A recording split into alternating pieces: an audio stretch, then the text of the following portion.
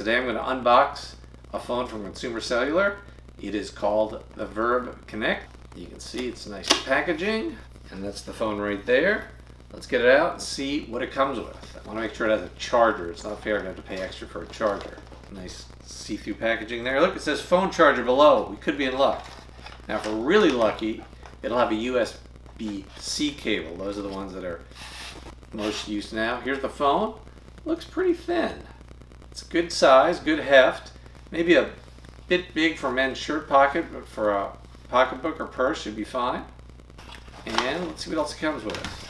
Yep, as it said, it's got a wall charger and a cable, and it is USB-C. That's good.